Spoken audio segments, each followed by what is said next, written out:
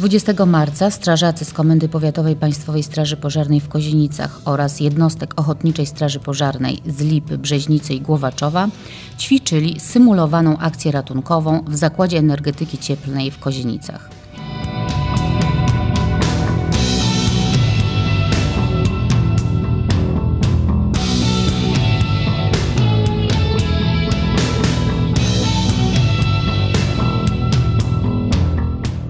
Scenariusz ćwiczeń zakładał m.in. awarię sieci ciepłowniczej, pęknięcie rury z gorącą wodą, możliwą obecność osób poszkodowanych w obrębie awarii, brak widoczności w pomieszczeniu, w którym nastąpiło zdarzenie, bardzo duże ilości pary wodnej.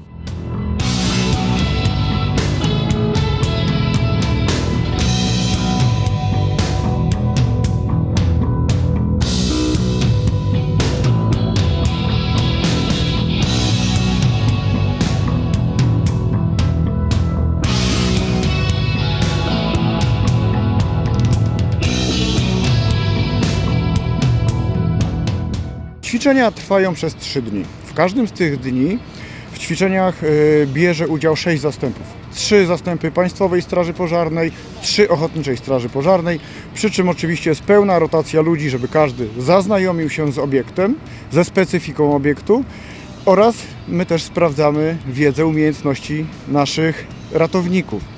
W dzisiejszym dniu, jak i w następnych dniach do czynienia mieli z ewakuacją dużej liczby osób poszkodowanych, co było dużym utrudnieniem. To był pierwszy epizod.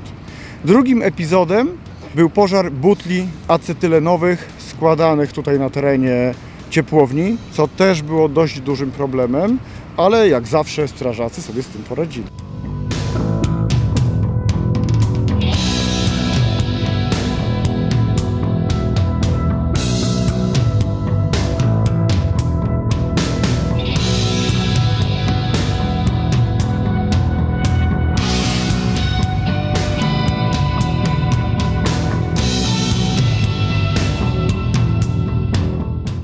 Ćwiczenie rozpoczynamy u nas teorią, czyli strażacy zapoznają się w tym przypadku akurat z udzielaniem pierwszej pomocy u osób, tak jak tutaj, z dużymi oparzeniami oraz z pożarami butli acetylenowych.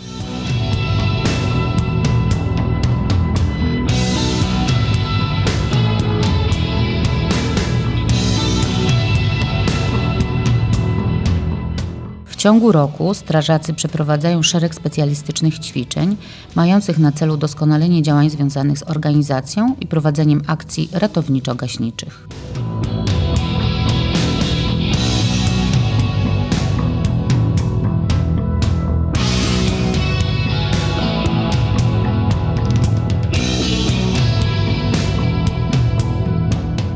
Zgodnie z doskonaleniem zawodowym Państwowej Straży Pożarnej takich ćwiczeń y, musimy wykonać minimum trzy.